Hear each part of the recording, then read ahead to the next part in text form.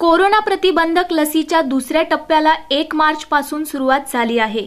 या दुसऱ्या टप्प्यामध्ये ज्येष्ठ नागरिकांना कोरोनाची लस देण्यात येणार आहे.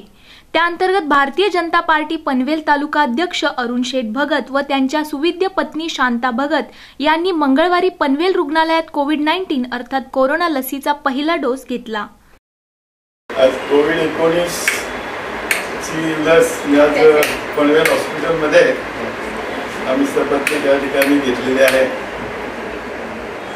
त्या इथलं वातावरण बघून टी व्हीवर ज्या मी बातम्या ऐकतो. आणि इथलं वातावरण डॉक्टर साहेब बघितल्यानंतर आम्हाला जमीन आसमानाचा फरक जाणवला म्हणजे सर्व तुमची आणि सर्व स्टाफची वागणूक बघून तर आम्हाला समजलं का आता आम्हाला काय त्रास याच्यामध्ये नाही आहे असं मला वाटलं. आणि एक अभिमान मला वाटला आज का आम्ही त्या हॉस्पिटलच्या उद्घाटनाला होतो आणि आज कोविड घ्यायला तरी आम्ही या ठिकाणी आलो.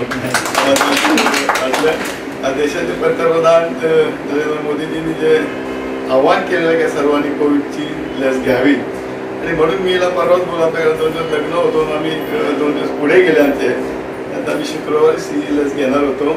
आज आम्ही लस घेतलेली आहे. मी देशाचे पंतप्रधान.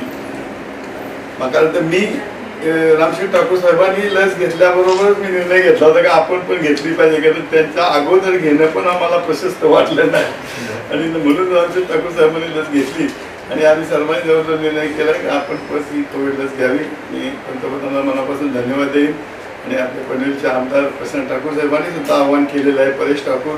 आणि काल मला वाटतं हॉस्पिटलचं सुद्धा कोविडचं उद्घाटन सेंटरचं केलेलं आहे.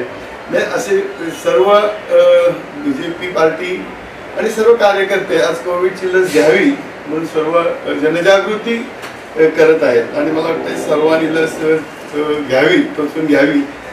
पनवेल आणि नवी मुंबईच्या ताज्या घडामोडींसाठी मल्हार टीव्ही न्यूज सबस्क्राईब करा आणि बेल आयकॉन दाबून रहा अपडेट.